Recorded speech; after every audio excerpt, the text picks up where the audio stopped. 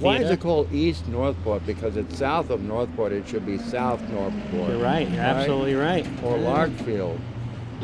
It's weird. You're too agreeable. Welcome to East Northport.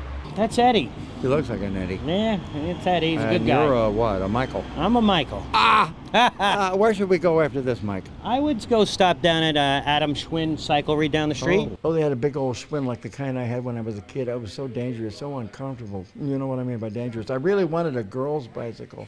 I was afraid to ask. You could go visit uh, Dr. Jason Heller, the new veterinarian in town. That dog is missing a front leg. Did you notice? I've noticed. I've seen the dog around. He's as fast as any dog in East Northport. Any Well, faster the, than any the dog three-leg heard dog. that. Did you see that? Did you see that dog heard that? Yeah. By the way, this is Robert Wagner of Rockabilly Barbers, Hello. and he's the most important man in East Northport, aren't you?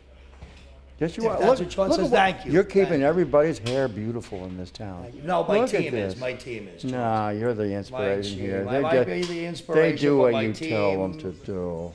By the way, this is what I want to look like. Why do you all look like that? I You're know it's sort of cool. Really? Thank Yeah. you. Is that your truck outside? That big, huge monster? That is I my never saw such a big thing. Shouldn't stand in front of the truck.